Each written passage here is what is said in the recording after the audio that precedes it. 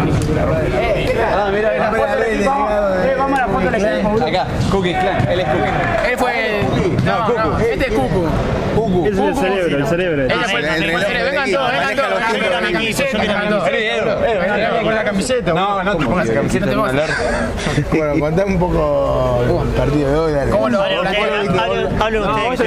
Vos sos el técnico. Habla sobre el olor de la camiseta. Bien, lo vi bien al equipo. El equipo en un momento, en el principio eran seis en la cancha, no se dieron cuenta. Tan, Están tan. medio concentrados. Corren, corren, como diría un viejo conocido televisivo, corren un pueblo estos muchachos. Corren un pueblo. Sí, a full.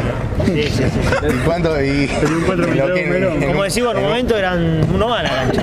sí, sí. Era psicológico el En un, en un, y en un boliche, ¿qué onda? No. ¿Qué pasa? Eso no te lo puedo decir. Eso no me lo pueden. ¿Qué Eso no te pasa? lo puedo ¿Vinieron de gira los muchachos? No, muchos venimos de trabajar, pero bueno, parece que la. El muchacho, el, el chongo del grupo es el muchacho. Choma del grupo, que metió cuatro.